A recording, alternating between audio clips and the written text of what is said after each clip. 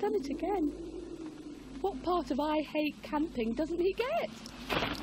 Thinking about your next holiday? Talk to us. We can help.